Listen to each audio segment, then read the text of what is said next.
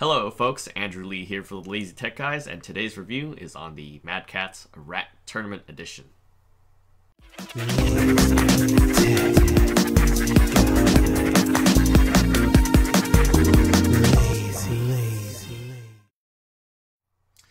Alright, so I would have done this review earlier.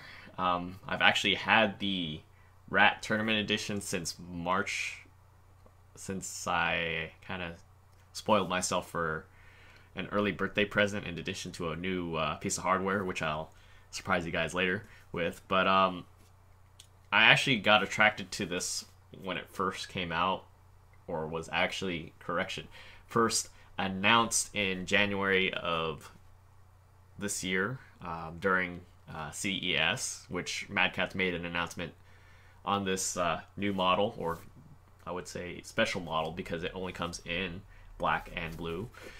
Um, mainly because it's designed with the PC gamer in mind as far as LAN events, tournaments, any type of high level competition. So um, let's just get straight down to it.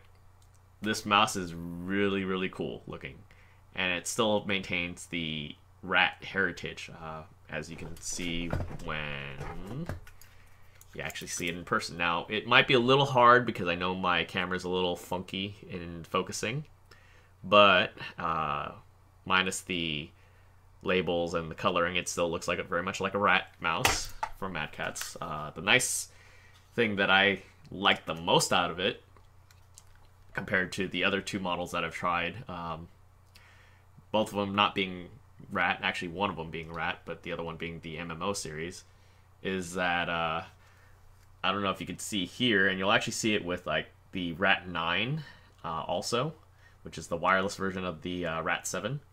This one actually has a little toggle right here that allows you to adjust the palm, and it actually locks it into place.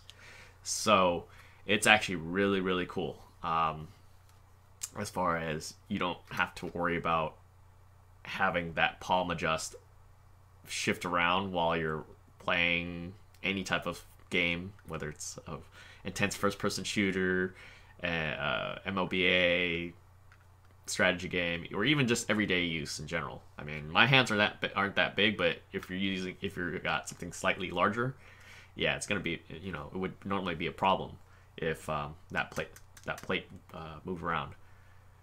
Um, also, this is actually kind of has that silicone coating on here, unlike most of the rat mice that I've seen that has the smooth plastic uh, coat, which unfortunately it does attract a little more oil off of my hands and becomes kind of a dust magnet, but it's easy to clean and it doesn't slip out of my hands at all. Alright, so I won't bore you too much with specs, but it does have a range from 100 to 8200 DPI, which can be toggled through the mouse's uh, little dongle toggle right here has four different levels. So say you're in a game and you want to switch up or switch down your DPI settings, you can actually preset that through the built-in app that uh, comes with the software, um, which they're not they don't usually include with a lot of technological devices nowadays. So you'd have to download it directly from the Mad Catz website. Um, one notable thing of the design itself is that it's light, very lightweight. It weighs in at 90 grams, which is actually the same weight that uh, my Razer Taipan weighs in. So it's in that same class. It's pretty cool um, knowing that you're not going to be bogged down with a heavier uh, weighing mouse, but at the same time, you can't. There is no, um, at least, option to adjust the weight according to your personal taste. So uh, it's a slight downside, but it, it's meant to be sort of light and nimble, I guess. Um, another thing too is that it also has a one millisecond response time uh, because it is wired in. It does have also power settings that you can adjust that'll allow it to not uh, not suck up too much juice in use, but at the, the at the expense of performance. Um, it also has five million uh, click long life Omron uh, switches so uh, I've never really had to abuse this that much, but I can say that just from that alone, it seems very, very, very durable. Um, like I said earlier in the beginning of the video, I've had this mouse since March and I've been using it every day. Um, gaming and not gaming purposes. All right, so I know you're here waiting for the big answer to the question, how does this score? Um, I'm going to give it a 4 out of 5, mainly because it's a decent mouse that has high level uh, construction, at least from what I can see. Uh, non uh, slip silicone also has a decent amount of tweaking features like 8200 DPI, toggles, convenient settings, keybinds, all sorts of different things that make it convenient for the gamer or inside a game, outside a game, and doesn't you know lose pace at all. It keeps up with whatever you're doing. Um, the only downside that I can find with the Rat Tournament Edition is the software that comes with the mouse.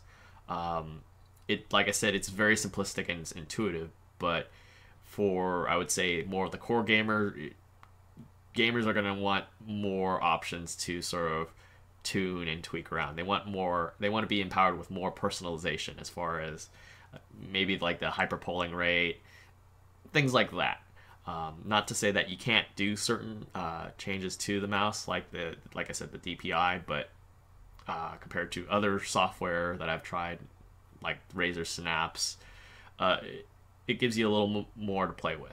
Um, but that might be implemented later on in an update or software change, vice versa.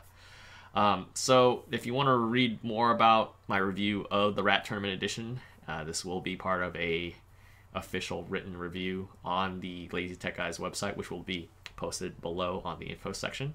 If you have any comments or questions in regards to this review, you can contact us at comments at lazytechguys.com or you can call us at our 707 uh, office number, uh, 707 722 5299.